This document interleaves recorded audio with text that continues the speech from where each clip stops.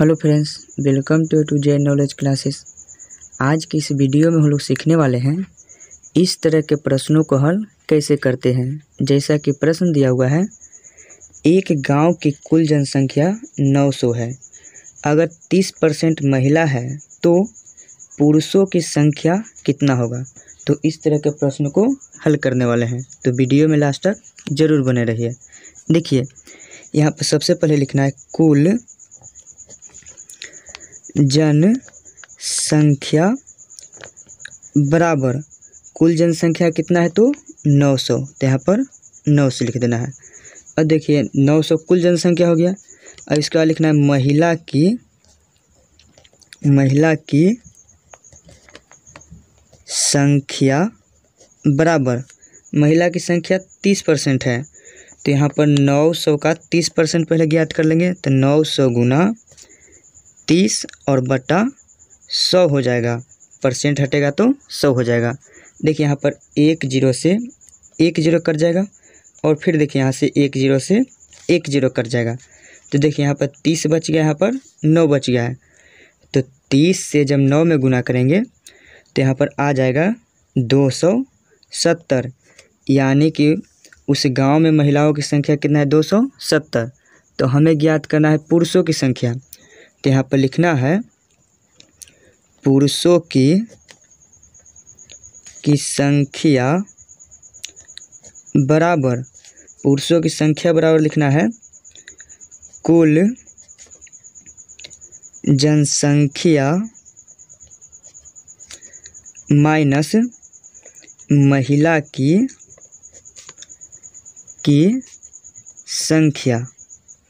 अब देखिए, कुल जनसंख्या में से महिला की संख्या को घटा देंगे तो पुरुषों की संख्या आ जाएगा। तो देखिए, यहाँ पर कुल जनसंख्या कितना है तो 900 तो यहाँ पर 900 लिख देना है, माइनस। अब देखिए, महिला की संख्या कितना था 270 तो यहाँ पर 270 लिख देना है। अब देखिए 900 में से 270 को घटा देना है। 900 में से 270 को घटाएँगे तब यहाँ पर आ जाएगा 630 तो पुरुषों की संख्या कितना है तो?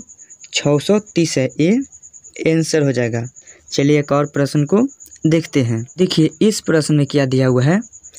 एक गाँव की कुल जनसंख्या 1200 है। अगर 15 परसेंट पुरुष है तो महिलाओं की संख्या कितना होगा? तो इसको भी उसी तरह से हल करेंगे, जैसे पहले वाले में किए थे। यहाँ पर लिखना है कुल जनसंख्या बराबर। कुल जनसंख्या कितना? तो बारह सौ। कुल जनसंख्या बारह सौ है। इसी में से जो पंद्रह परसेंट पुरुष है तो लिखना है पुरुष की की संख्या बराबर।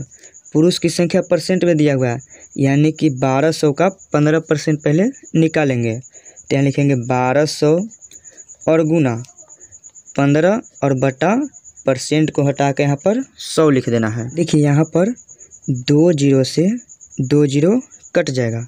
तो यहाँ पर आ जाएगा कितना? बारह और गुना पंद्रह बचा हुआ है। तो बारह और पंद्रह को गुना करेंगे तो यहाँ पर आ जाएगा एक सौ अस्सी। यानी कि पुरुषों की संख्या कितना है? एक सौ अस्सी। तो हमें महिलाओं की संख्या ज्ञात करना है। तो कुल जनसंख्या में से पुरुषों की संख्या को घटा देंगे।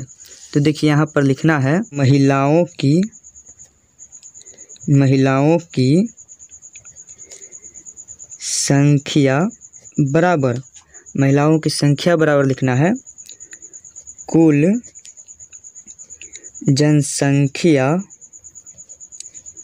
माइनस पुरुषों की की संख्या, पुरुषों की संख्या इतना हो गया। अब देखिए, यहाँ पर कुल जनसंख्या कितना है तो बारह सौ। तो यहाँ पर बारह सौ लिख देंगे, माइनस। अब पुरुषों की संख्या कितना है? एक सौ अस्सी। तो यहाँ पर एक सौ अस्सी लिख देना है।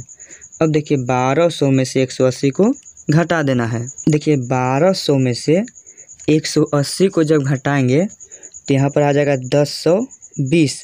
यानी कि महिलाओं की कुल संख्या कितना है तो दस सौ बीस है, ये आंसर हो जाएगा।